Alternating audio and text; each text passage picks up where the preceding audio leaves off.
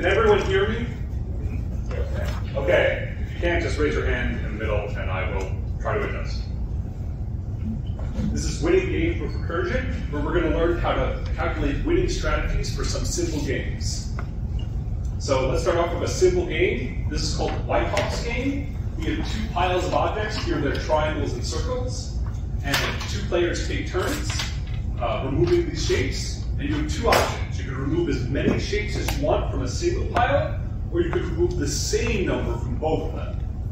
And the game ends when we run out of shapes, and you win when you take the last shape. Or equivalently, if it's your turn and there's no shapes left to take, you lose because you can't make a move. Let's look at an example of this game. So let's say we have these five triangles and 10 circles, which I'll represent as 5 comma 10. The two players are going to be player A and player B. So player A's turn, player A goes first. Player A can remove 2 from each pile, because that's the same number.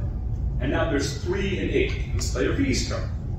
Player B could remove 3 from the second pile. That's just fine. Player A's turn. Player A could remove 2 from the first pile. So now we are down to 1 and 5. Player B could remove 3 from the second pile. Now we're at 1 and 2. Player A might want to remove 1 from both piles. And now we're at 0 and 1. Player B only has one move available to take the last shape. And now we're at 0 and 0, and player A's turn. Player A has no move, so they lose. Uh, player B won because they took the last shape. So that's how Wythoff's game goes. And now let's talk about strategy in a very simple case. Um, so here's a summary of the game we just had and all the states that we went through in that game. So here's strategy in a much simpler case of one and three, so like one triangle and three circles.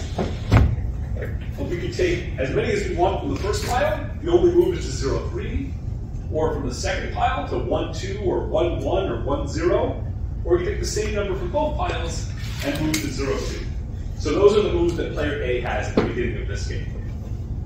Now, the thing about this game is that for most of those moves, player B has a response that ends the game.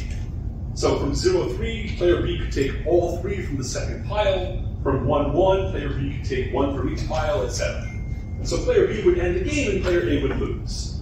So what that really means is that these four moves that uh, have these arrows coming out of them representing player B's ending the game are not good moves for player A to make. They're, they really should be considered if player A is going to be playing well. So that means if we're talking about strategy, player A should really just focus on this one move to 1-2. And then from 1-2, what moves could player B make? Player B could go to 0-2, or go to 1-1 and 1-0 by taking from the second pile, or they could take one from each to move to 0-1. These are the moves player B could make. But from all of these states, player A could then end the game. They could take one from each pile for 1-1, etc. So that means that no matter what player B does on that second turn, player A has a good response that ends the game.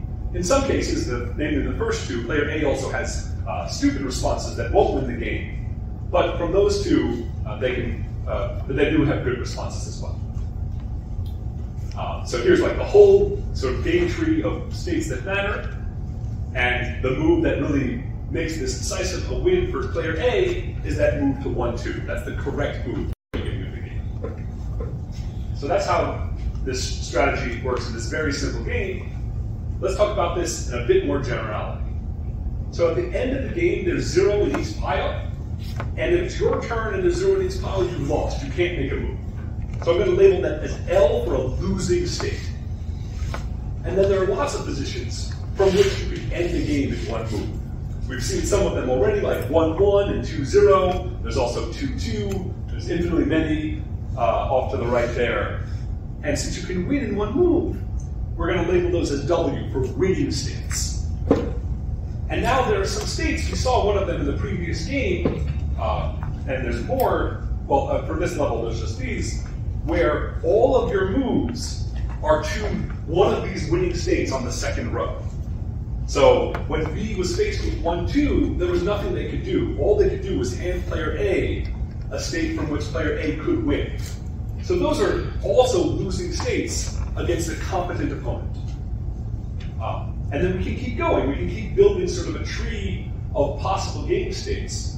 So for instance, if you can move to one of those two losing states, like if you're at the 1-3 that we looked at a minute ago, then you can win because you can make one of those good moves.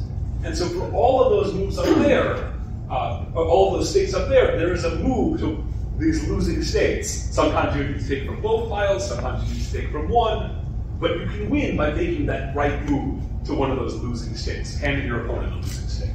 So those are winning states. And you, we can keep going forever. I'll just show one more layer. Uh, 3, 5, and 5, 3 are also losing states. It takes a bit more work because there's a lot of moves to check.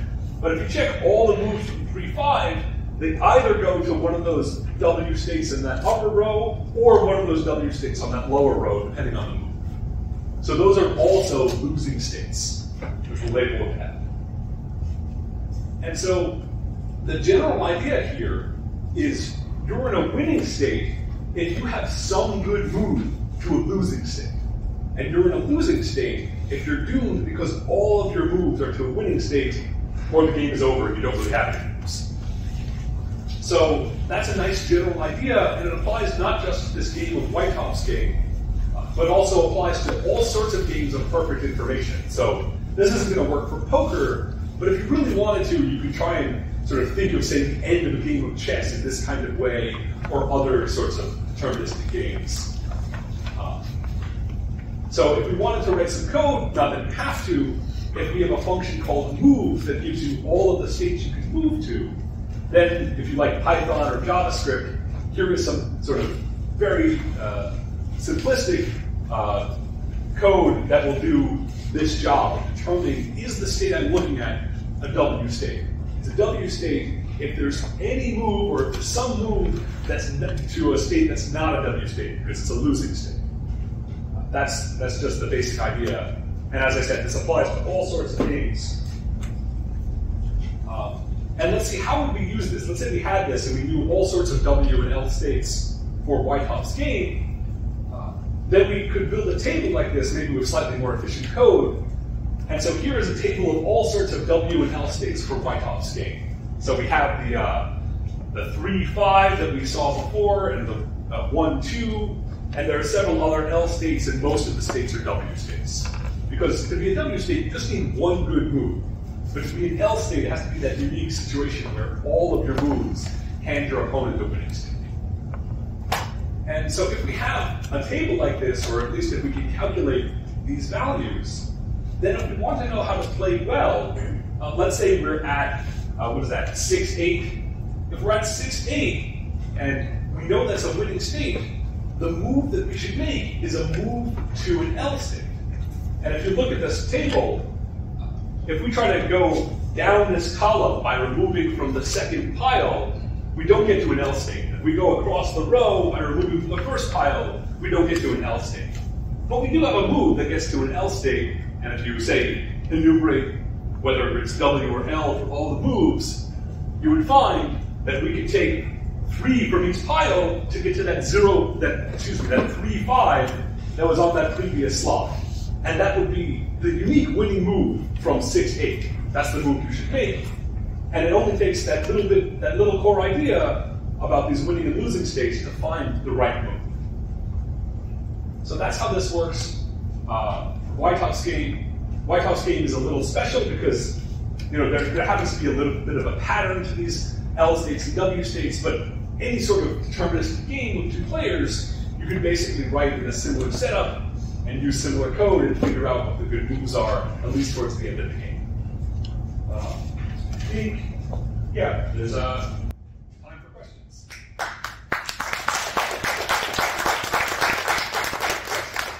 So, yeah, so like, how do you handle cases where you're dealing with an unsolved game, like Go or like chess, you know, a Okay, so the question is how do we handle an unsolved game like Go or chess? And so this idea about winning and losing states really doesn't change for those games. It's just that from only what I've told you, you can't do anything more than the very, very end of like a game of Go or chess because it's too inefficient without knowing more about Go or chess. Uh, but for the case of chess, you could say, okay, let's say for now, stalemates or wins for white and see what happens, or stalemates or wins for black. Uh, but if you get more than a few moves from the end of a game of Go or chess, you're going to need more than this idea to really say something meaningful. Other questions? Yes. Is there a closed form expression for the set of uh, losing states? For Wythoff's game, yes, there's a, there's actually a very simple closed form expression. Uh, so beyond the scope of this talk, but I haven't talked afterwards about it. Cool. I was just wondering if, yeah, I, Yeah. I would have guessed that there is. Yes. And it's already known. It's a very, it's a very, it's a very well studied game. There are actually there was just a paper this past week about a variant of Wythoff's game and what are the L states for that variant. Other questions? Yes. Can you write an optimization program to do the same thing? Uh, Can you write an optimization program to do the same thing? Yeah. So could, could you write an objective function with constraints? Yeah, so the thing is, with an objective function, if your objective is to win the game, you'll likely end up reproducing this exact same idea if you're doing it perfectly, or you're using heuristics and you're not doing it perfectly. Like those are the, the kind of two ways that can go. Uh, but it's not it's not like you couldn't hit upon this from a perspective of like an objective function. It's just the objective function could say, you know, you get a million value from winning and zero value from losing, and you could reconstruct the same idea. Yeah.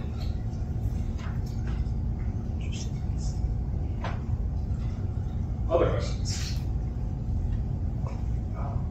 Yeah. I know you used a you know a simple game as an example, of course, but is there do you know if there's like a tipping point where it just becomes too many variables to calculate to try and get this win state, like in a feasible match or Sure. for a certain game? So the question is, uh, you know, this was a simple game, but if we had a more complicated game, is there a tipping point where it's not feasible to calculate these winning and losing states? And in real practice, it really depends on the game and what you know about.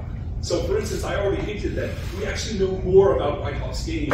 We don't need to use this recursion, even with, say, storing known results with memoization. There are better ways to handle it for that game. And similarly, there are uh, facts known in the field of combinatorial game theory that say for this class of games, here's a more efficient way of breaking it down and finding out those winning and losing states. But there are other games like chess where there's not really like this kind of thinking doesn't really help you with chess. Uh, you need to you need to know some facts about chess strategy that's really just about chess to do something like this in any even slightly efficient way. I guess one more would be, I mean, would you technically turn that into a vector, that kind of knowledge, mean, like, uh, kind of a meta, meta game or, or meta knowledge? Yeah, I mean, if you if you can prove that, say, in chess in a certain kind of situation, it's gonna be a losing state because we already know like the I don't know much about chess, but the rook and king endgames, then you short circuit that in this logic and make it more efficient. You certainly introduce knowledge that can have up game into this approach. Okay. Um, I got time for a question or two, Any more questions? if there are.